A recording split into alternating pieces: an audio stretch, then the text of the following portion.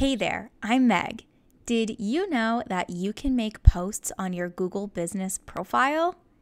Well, if you clicked on this video, then obviously you kind of knew that that was a possibility.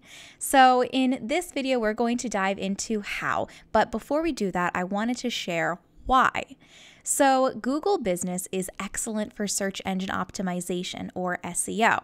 Now, because so many searches happen on Google than any other search engine, it's super important to take advantage of what Google has to offer to try to rank higher on their search results. Now, when you make a post on your Google Business profile, you are essentially showing Google that you are an active user, and your post can also link back to your website website, which is also even more of a benefit for SEO. So it's just kind of this compounding benefit. Basically, if there is a feature that you can use that Google offers, definitely try to take advantage of it. Now, if you do not have a Google business listing, I will link to the tutorial up above and down below on how to do that. So now that you know the backstory, let's dive into it. So, the first thing you're going to want to do is type in business.google.com in the URL at the top, and you'll be brought to a screen that looks like this. If you're not brought here, one, make sure that you've created your Google business profile. Again, there's a tutorial on how to do that linked down below. Or the other reason could be that you have multiple Gmail accounts and you're not signed in to the correct one.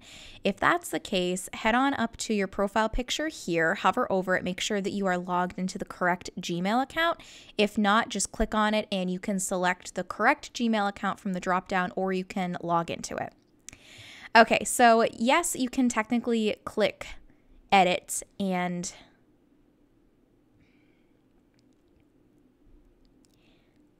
Okay, so from here, you can either click create post right here. I like to go into the listing and click create post here. And there are a few different options. They're pretty self explanatory, but I'll just quickly breeze through them.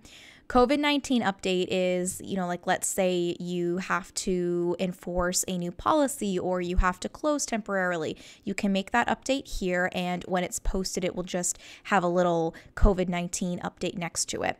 Hopefully, this all goes away at some point. So maybe if you're watching this tutorial in the future, it's no longer a thing. That would be fabulous.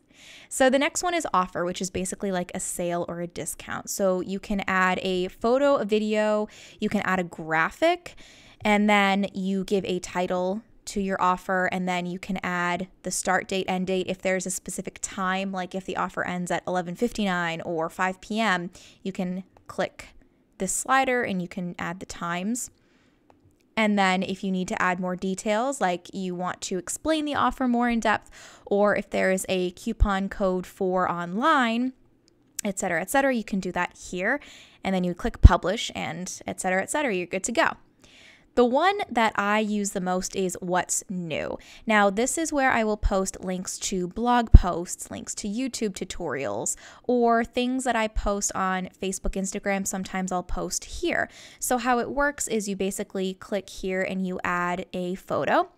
Now, for a YouTube tutorial, I don't add the video. I like to link directly to YouTube just because the videos are super long. It takes a while to load, but also because posts tend to, I've noticed that they disappear after I think it's 48 or 72 hours. So, um, you know, why put in all of that effort if it's just going to go away? So I just link to the YouTube tutorial, but I would add the little thumbnail here and then you write your post, so write your caption, and then you can add a button which can link to a website. Like it can link to your website, it can link to YouTube, it can link anywhere, and you can just add a select a word that kind of describes what the link is. Usually I go with learn more.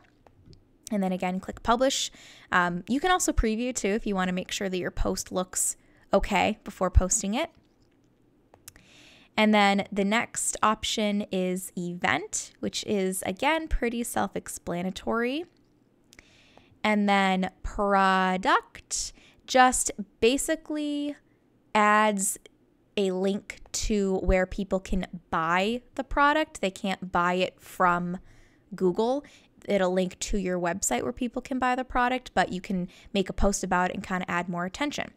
So, let's say that you have made your post. Once you made your post, there will be a little pop up that says, uh, if you want to view your post, click here, which you can. Also, view your post live and see how it looks on your actual Google business page by Googling your business. So, the preview that we kind of just went over would just show you how the actual post looked. But if you Google your business, you can scroll down and you can see where the post goes. So they do end up down here, and it looks like my posts have been sticking around for quite a bit, which is great. I don't know why, for some reason, it seemed like at one point they were expiring, like they were going away after a few hours, but it looks like that is no longer, so that is fabulous. So, yeah, the posts do kind of get buried, and it may seem like it's not worth posting on Google Business, but if you're already posting on Facebook or Instagram, it doesn't take that much longer to post on Google, and it just shows Google that you're constantly updating your profile, which proves to them that you're still in business, that you're still that you're, you know your website is still around and when Google ranks a website for search results, it, it wants to check to make sure that that website is still active. It doesn't want to send people to old websites that haven't been updated. So, posting on Google is excellent for your search engine optimization and it doesn't take that much more out of your day. So, I definitely recommend doing it. If you have any questions, please let me know in the comments down below. But uh, uh, if not, I hope this tutorial helped and I will see you in the next one.